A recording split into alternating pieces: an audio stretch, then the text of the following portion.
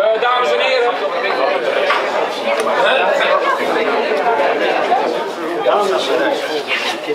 Het is uh, vier uur en als het goed is heeft u net als ik ook, uh, ook de uitnodiging ontvangen. En u heeft gezien dat we een heel strak schema hebben. En als we al laat starten, dan weet ik ook zeker dat we te laat eindigen. En dat is nou net niet de bedoeling. Uh, we zijn wel een beetje afhankelijk van wat hierachter zo meteen uh, gebeurt als zijn de opening. Uh, en er is mij gevraagd om dat ongeveer 25 minuten vol te praten. En ik, denk, ik denk dat mij dat wel gaat lukken. Je zit tenslotte in het onderwijs, dus dan komt dat, dan komt dat goed. Maar in ieder geval ontzettend fijn dat u als genodigde hier allemaal bent. Ik zie ook heel veel bekende gezichten. Ik zie oud-collega's die ook nog aan de wieg hebben gestaan van het Technasium, die hier allemaal zijn. Uh, en dat vind ik ontzettend leuk. Ik had vier, vijf jaar geleden eigenlijk niet kunnen bevroeden toen we de beslissing namen om het Technasium te starten. Ik weet nog goed, dat gebeurde daar uh, in de aula. Dat we uiteindelijk hier met z'n allen zouden staan voor de opening van dit mooie lokaal. Zeker niet omdat ik eigenlijk toen voor het eerst hoorde van Technasium en een beetje dacht, dat gaat wel aan mijn wieg voorbij. Uh, ten meer omdat ik verantwoordelijk ben voor de HAVO. En je hebt toch snel de, uh, het idee van nou Technasium, dat zou wel horen bij het VWO en gymnasium.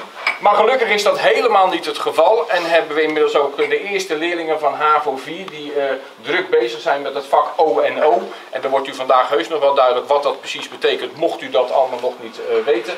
Uh, maar het is dus ook heel leuk dat ook de HAVO en het VWO daarbij betrokken zijn, hoewel de naam misschien iets anders daarin suggereert. Uh, en waarom doen we het Technasium? Even heel kort een schetsje, toch omdat Nederland wil uh, graag vooraanstaand zijn in de kenniseconomie. Er zijn goed opgeleide technologen daarvoor nodig. En er waren eigenlijk toch te weinig mensen die die beta-kant kozen. Nou, toen is er het Technasium bedacht, zou ik maar zeggen, en helemaal ontwikkeld. En uh, volgens ons is dat nu ook wel reden voor een feestje, gezien nou ja, alle investeringen die we daarin hebben gedaan. en we hebben wel gedacht ook met de hele verbouwing van, ja we kunnen nu wel doorgaan, want we draaien al een jaar of vier op deze manier en dan laten we stilletjes voorbij gaan dat we zo'n mooi lokaal hebben. Maar dat leek ons toch niet goed, je moet vieren wat je moet vieren. En we hadden altijd wel een beetje het idee dat we sommige docenten een beetje het bos instuurden. Een soort als een timmerman die we wegsturen met een gereedschapskist, maar zonder hamer. Want het gebeurde eigenlijk gewoon in lokalen die we al hadden. Of desnoods met een hamer waar de kop los van zat. Of een beetje zoals eigenlijk Nick zonder Simon. Alhoewel ik denk dat dat niet zo ramp zou zijn.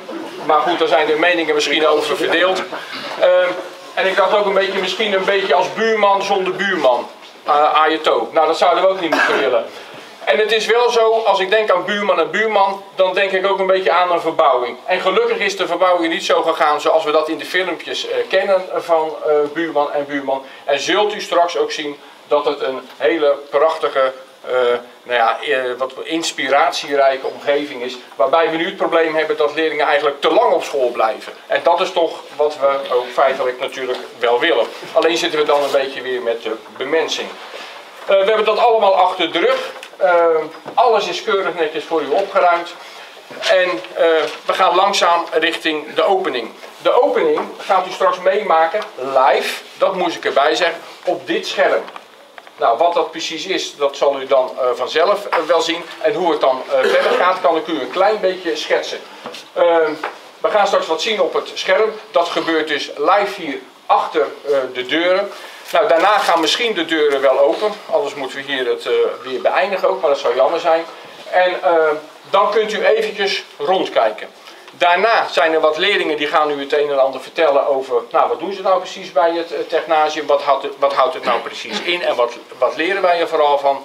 Uh, daarna hebben we een gastspreker die iets komt vertellen over nou ja, techniek en wat diegene zelf uh, daarvan heeft geleerd bij ons op school en ook in een verdere studie.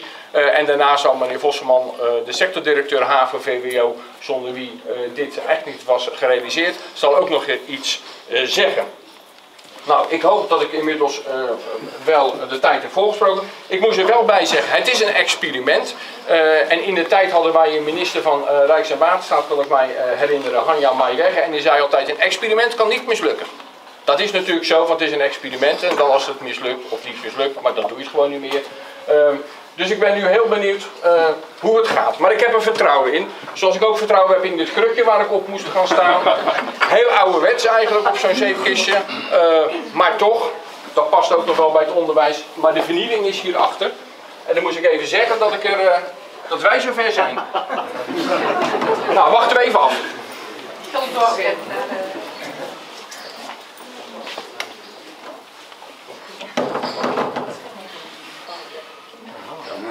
Spanning.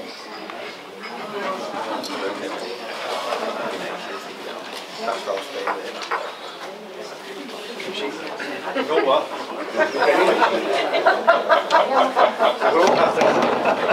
Ah, maar Pieter, jij weet het al. Hij het al. Hij kan er rustig voor Nee, nee, voor jou ook nog. Wibbelbab. Een droom. Oh, een droom. Van één keer. Oké, maar rustig.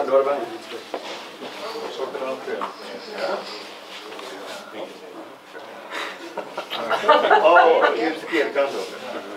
Domino D. Hij doet het niet. Moet gewoon even helpen.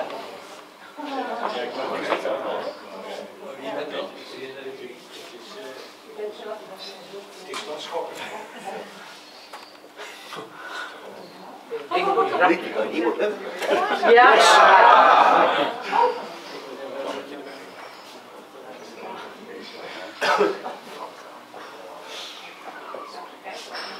Serieus klik erbij? Ja, Waarom? Nee, gaat weg. Ik hoop dat ze de branden anders uitgezet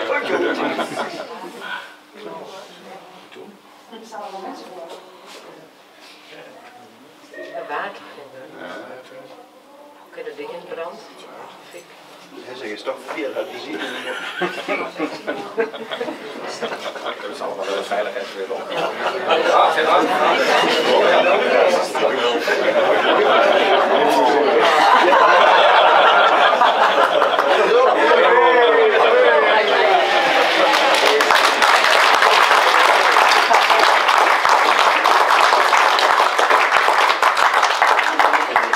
Nou, kijkt u rustig even rond uh, binnen. Is het veilig?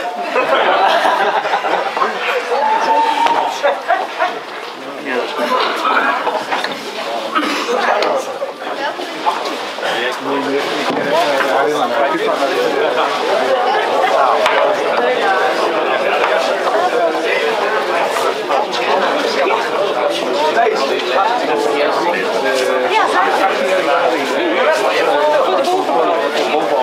het, uh, het uh, ging een beetje. Nee, GoPro aan deze kant zitten. ik heb er al aan de Zit er meer gelukkig in?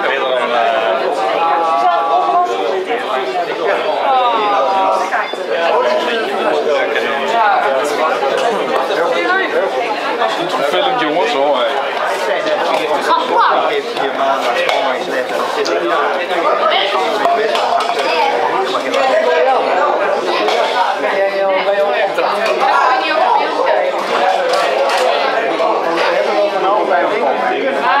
weet je, dat is ook vaak bij de kinderen.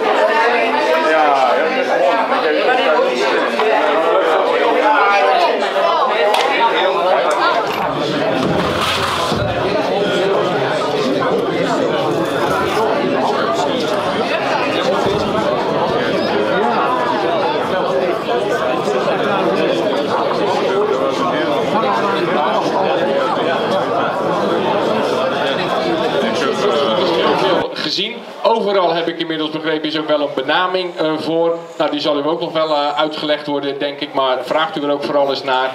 Eh, en nu zijn er twee leerlingen uit de klas V4 A en B.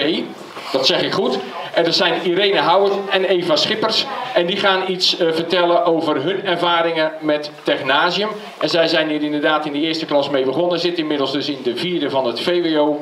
En nou, ik ben heel benieuwd naar jullie verhaal.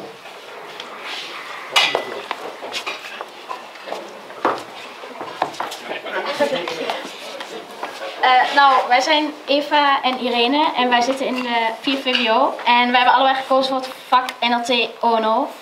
Eh, ONO zijn wij begonnen in de bo- onderbouw. En ja, daar kregen we altijd een opdracht van de opdrachtgever. En ja, dan moest je die opdracht gewoon uitvoeren. Dan moest je eerst een vooronderzoek doen en daarna eh, een programma van eisen opstellen. En ja, dan moest je langzaam tot een idee komen, zeg maar. En ja, dat deed je met behulp van een prototype. En daarna ging je een idee bedenken en dat leg je dan voor aan de, ja, aan de opdrachtgever. Ja, dat vonden we altijd op zich wel interessant. En daarom hebben we allebei gekozen voor het vak NLT ONO in de bovenbouw. Eh, in de bovenbouw is het meer, ja, dan moet je, heb je iets meer vrijheid, zeg maar. Je krijgt een opdracht en daar bedenk je nog steeds een oplossing voor, maar je kunt het meer zelf inplannen en je kunt meer, meer zelf, eh, ja, verschillende kanten op, zeg maar. Want ja, je kunt meer, eh, ja, de creatieve kant op, maar je kunt ook een technische oplossing be- bedenken.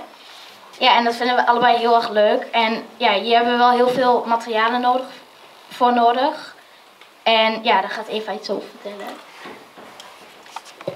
Nou, Irene heeft u, dat, Irene heeft u, Irene heeft u net wat meer verteld over eh, ja, de inhoud over ONO zelf en hoe het wordt lesgegeven in de bovenbouw en in de onderbouw. En ik ga u wat meer vertellen over het eh, lokaal inhoudelijk. Want we hebben natuurlijk net een nieuw lokaal en daarvoor zijn we nu hier. Eh, laten we beginnen met de whiteboardtafels. Die ziet u daar. Dat zijn tafels waar je gewoon met een whiteboardstift op kan schrijven en je kunt daarna ook gewoon weer uitvegen. Dit is heel erg handig voor het brainstormen eh, in het beginstadium van je project, maar ook bijvoorbeeld in het midden. Want je, je kunt dan met, eh, als je bijvoorbeeld aan, een probleem tegenkomt in je project, kun je met z'n allen om de tafel gaan zitten en een beetje ja, een woordweb maken of zo. En daarmee kom je op eh, goede oplossingen. En daarnaast is het natuurlijk ook nog heel milieuvriendelijk, want eh, vroeger hadden we altijd stapels met papieren en dat is dus nu niet meer zo. Ehm, achter mij ziet u een eh greenscreen. Dit is heel erg leuk, want hiermee kun je een heel leuk filmeffect toevoegen aan je filmpje. Het kan dan bijvoorbeeld lijken op beeld alsof je bijvoorbeeld in Parijs bent. En, en dus dan kan ik bijvoorbeeld een Eiffeltoren achter mij laten verschijnen. En dat is gewoon ja, een heel leuk effect aan je filmpje. Eh, dan hebben we daar een opslagruimte. En iedere klas heeft gewoon zijn eigen bak. En daar kun je gewoon eh, ja, notities en zo aantekeningen in doen. En het is wel heel handig dat deze afgesloten is. Want eh, vroeger hadden we een open, een open kast waar bakken in zaten en dan vlogen alle papieren uit. Dus dat is wel heel handig dat deze nu afgesloten is. Dan hebben we daar nog een eh, glazen ruimte waar je in kunt werken.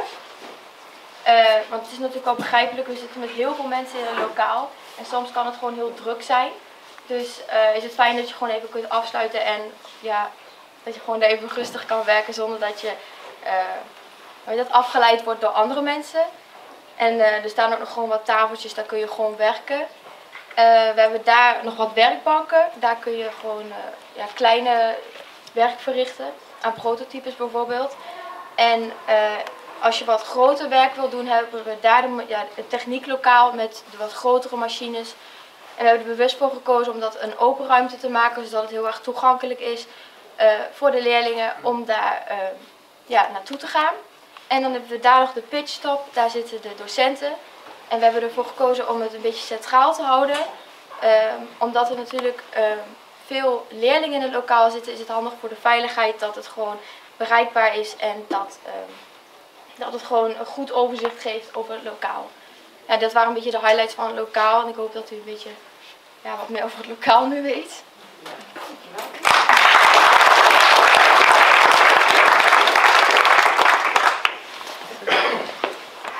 Nou, dank jullie wel. Heel goed. En ik kreeg al net een complimentje van iemand, maar dat is zeker niet aan mij gericht, maar wel aan de dames. Van, goh, wat praten die eigenlijk eh, makkelijk als ze op zo'n podium staan. Nou, dat is een van de dingen die ze hier natuurlijk ook eh, leren. En dat is ook leren in de praktijk. Dat hebben jullie heel goed gedaan. Dankjewel. En eh, dan, heb ik, dan wil ik even, want dan ziet u ook welke mensen hier vooral werken.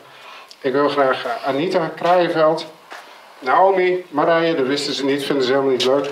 Peter, eh, Rinus, Bert en Giel. Even hier naar voren hebben. Dit zijn de docenten van het onderzoeken en ontwerpen team. En deze mensen, eh, eh, hier staat er niet tussen. Dat is Eveline van de groep, ga ik nog een keer zeggen, Eveline. En eh, Kijk, ik ga ze heel, heel bescheiden daar staan. Dus als je nou een beetje deze kant op komt, dan kan Angelique ook een foto maken. En deze mensen die, eh, ja, die, die werken aan een vak waar geen boek is, waar eh, eigenlijk alleen maar een opdracht is en waarna, eh, waar ze het proces begeleiden en moeten beoordelen. En dat is, dat is wel een heel ander kunstje dan wat, wij op de HV gewend zijn. Want over het algemeen hebben we een boek en een curriculum en dan hebben we een toets en weten we, precies, we weten eigenlijk precies de leerlingen waar we aan toe zijn. En dit is meer learning by doing. En dat geldt ook voor de docent. En er zijn er twee, die noem ik apart. Dat zijn Rinus en Giel. Dat noemen we de technatoren. En eh, die hebben contact met bedrijven. Die zoeken naar nieuwe opdrachten. En die proberen ook nog een beetje leiding te geven aan eh, deze mensen. Nou, en zonder hen zouden we geen uh, technasium hebben. Dus ik vraag hartelijk applaus.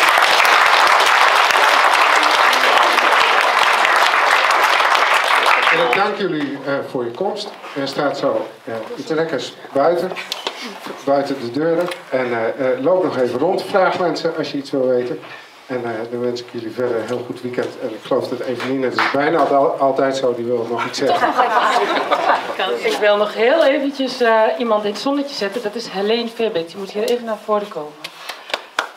Want u heeft zo net op dat scherm een prachtige actie-reactiebaan gezien. En daar is uh, het een en ander voorwerk aan verricht. En daar heeft Helene ons niet alleen ondersteund, maar daar heeft ze meer dan dat gedaan. Dus we willen een hartelijk applaus voor haar.